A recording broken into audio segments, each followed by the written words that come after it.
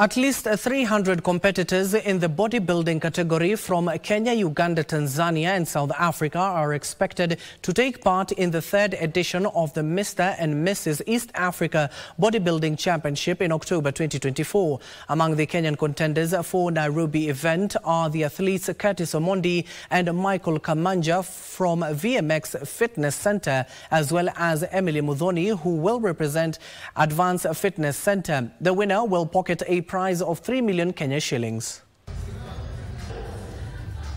These competitions are a huge thing. First of all, it's a huge thing in terms of exposure. It brings out our bodybuilding uh, culture to the world. It can draw in investors from outside. So it's something that, uh, as, as much as it's uh, hard for things to happen, it's something that gives a spotlight to people. exposes women to you know so many so many things women go through that when they come to the gym and do all these competitions they can at least um, achieve certain goals. They know they can achieve certain goals towards life